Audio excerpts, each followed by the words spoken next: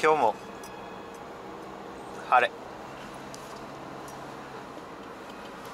まあ通勤中ですがよろしくご視聴願います。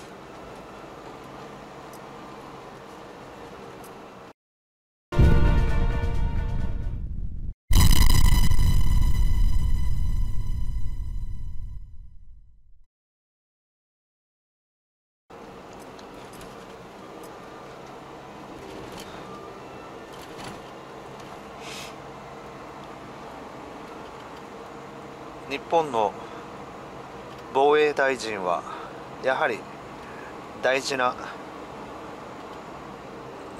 大臣の一つだと考えます。現在河野防衛大臣ですがまあ今のところすいません。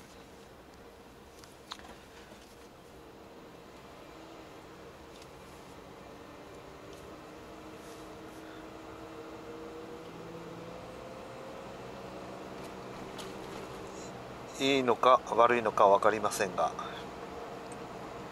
まだまだ。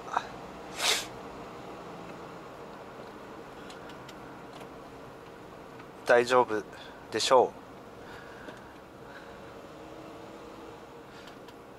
う。やはり一番はなんか小野寺防衛大臣が結構好きでいろんな仰天ニュースなど結構出てきていました。河野防衛大臣。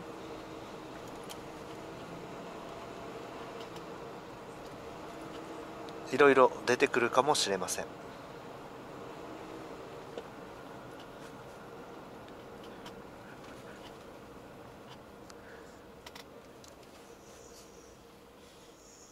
昨日ジェネラル・ R・ フォードが太平洋と言いましたが大西洋の間違いです。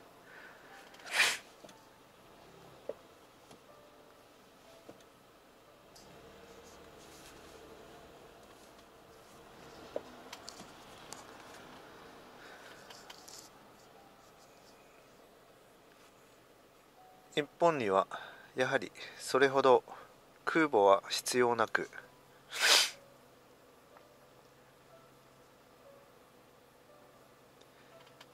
アメリカなどが必要なだけで日本にはやはり出雲型護衛艦が最大でいいと感じています。防衛大臣に話を戻すとやはり日本の防衛の顔になる人物です。防衛大臣。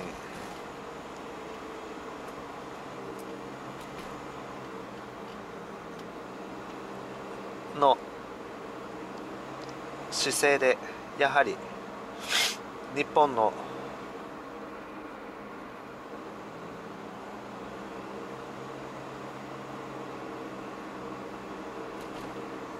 進む道が決まってくるでしょう。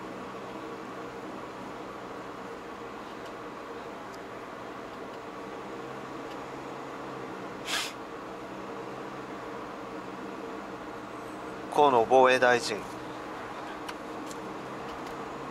外務大臣の頃は結構心強かったです。韓国に対してはっきりとものを言うしノーという選択肢もありました。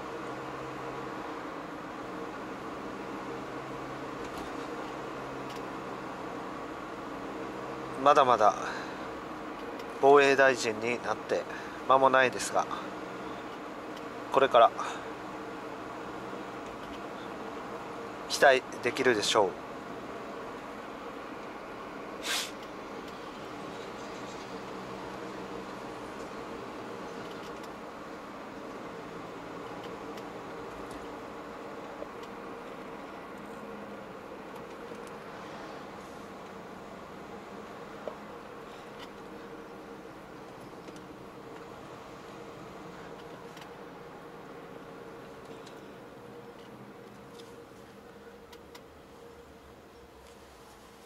防衛でやはり空最近空の防衛が気になるのは自分だけでしょうか？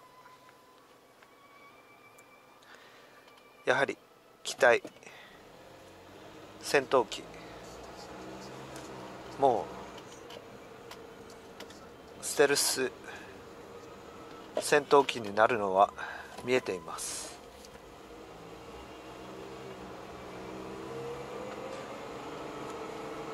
中国ロシアなどステルス戦闘機をどんどん配備してきます。日本もまだ F35A ステルス戦闘機は数機しか納入されていませんし実戦投入にはまだちょっと時間がかかる。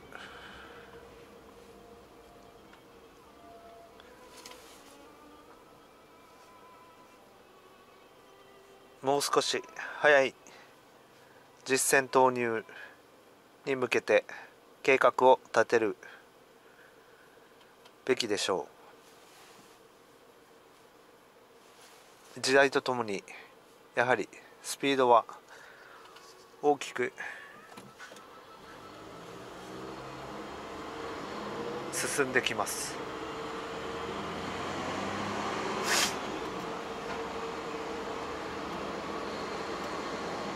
完璧を求めすぎてもダメだしまた事故が起きてもダメです。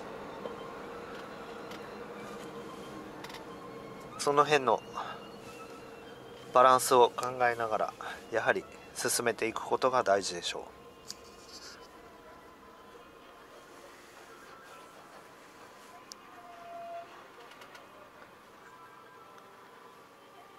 最新鋭の戦闘機ですがやはり日本も開発する価値はあると考えます。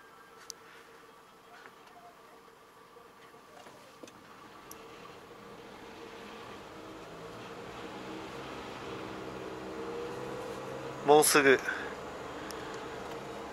宇宙が舞台になるかもしれないという時代です。昔見ていたアニメのような世界が現実になるかもしれません。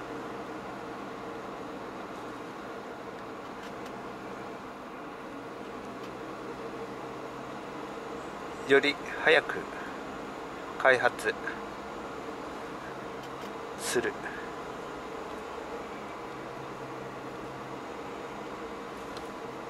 ことでやはり防衛力に抑止力効果としては最大限発揮できるでしょう。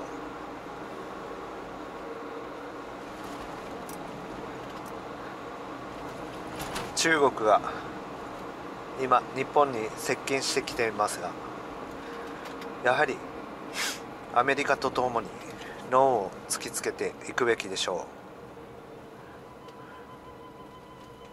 甘い誘いには乗らない。それが本当大切なことになるでしょう。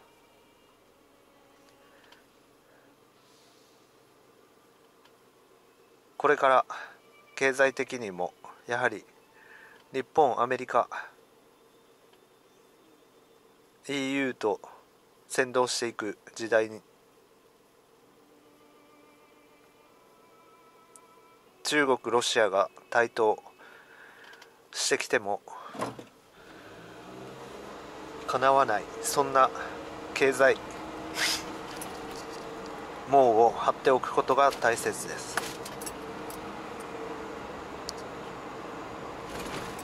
中国の技術革新も結構すごいものがありやはりサイバーでの